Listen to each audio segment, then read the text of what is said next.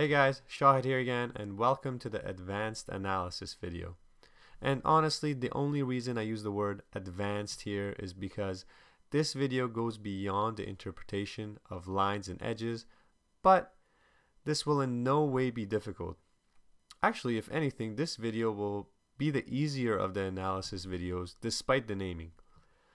Alright, so what are we doing? Well, I'm essentially going to go over a few helpful tips to reinforce your analysis technique and help you become really competent at visualizing what is going on with the given views. Alright, so the first of these tips has to do with sloped faces that we talked about in the previous video. So let's consider this slope here and let's move it to the side and consider what the top and end views would look like. Well, they're both pretty intuitive since this is a simple object. The top view would look like this, and the end view would look like this. It seems pretty straightforward, but the reason I bring it up is that sometimes students misjudge how big a feature really is. For example, this sloped face here appears longer than what the correct views actually show us. And I can exaggerate the slope a little bit to show you guys what I mean. Alright, so here's a very similar object, just with a steeper slope. And the corresponding top view would look like this, and the end view would look like this. So when we think about the end view of this object, we have to be critical to not think about the slope, but the square we would see if we were looking at the object directly from this direction. And when we think about it like that, we can see that we would actually pretty much only see the back square outline of the slope. And I can even point this out with the top view. It's really easy to misjudge the top view and think that it would look like um, this big square right here. But really, we have to remember that we are looking at the object directly from above. And so we would only see the bottom rectangular outline of the slope, just like this. And to be honest, this point is more important for the keyhole section as we are directly given the 3D view on the question, but it's also important to keep in mind for the top front end section because you don't want to mentally visualize something incorrectly. This is all about building good habits. Okay, so that's all I wanted to say about slopes, so let's move on to the next point which I like to call projection alignment. And projection alignment is simply a built-in feature of each top front end question that we can use to help us with matching certain aspects of an object. And I'll show you guys what I mean. So let's bring in the front and end projections and pretend that this is what we are given on a question. And guys, keep in mind once again that on the PAT, you'll only be given the two views.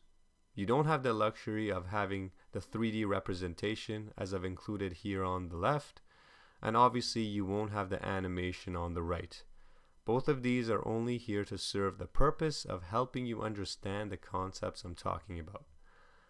Alright, so projection alignment for the front and end view is simple since these two projections share the same plane of reference, as in both the front and end views are perpendicular to the z-axis. So because of this, we can directly match the features of the object to the height levels seen. Now that sounds a little confusing, so let me show you guys what I mean with some more graphics. So essentially, the number of height levels on the front view will always be reflected in the end view as well in one way or another.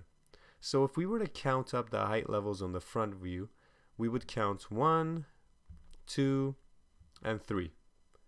There are three height tiers or height levels shown in the front view. And if we extend these lines all the way to the end view, we can see that they perfectly separate the object into three height levels as well. Now you might say, well, how does this help us? Well, it helps us identify what is what in each view, which is super useful when you're trying to mentally visualize the object. So for example, using the height tiers, I can easily tell that this extension here is this extension here. because they are both the only extensions on the second height tier. And now I know that from the top view, which is what I'm trying to uh, answer in this question, I know that this extension would only extend up to this point, not all the way to the edge of the figure. And similarly, I can see that this extension here matches up with this extension on the end view because they are both on the third height level. Again, this gives us an idea of where this extension should end on the end view. So it's super helpful. You guys will use this all the time on this section, so make sure you understand this really well. Okay, so now let's look at a situation uh, where we are only given the front and the top view. And it's essentially the same concept, but here it's actually a bit easier since we can usually match every extension with its position along the width of the object. Okay, so just like last time, we can identify some edges on any of the two views really, and mentally extend the lines and see where they line up with the other view. And so what does this tell us?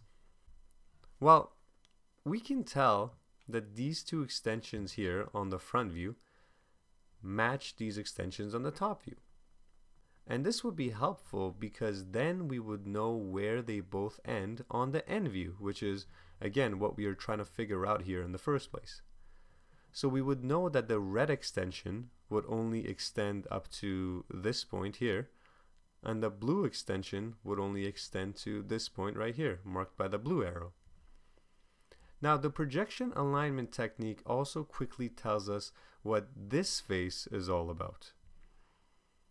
This alone would cause confusion, but having the top view with it, we can easily see that the green face is the face we would see here. And this is important because then we would know that we would see a dashed line at this location on the corresponding end view. Alright, now we've gone over what projection alignment looks like if we have the front and end view and the front and top views given. But what if we are only given the top and end view? Now it's not so easy because our two given views are not really aligned. We can't draw vertical or horizontal lines here. So what do we do? Well, you have a couple options here. First, you can mentally imagine this edge right here um, coming all the way down here. And so we would pretty much be toppling this top view on its side. And it would look something like this. And from here, we can again draw vertical lines and match extensions on the top view to the extensions on the end view.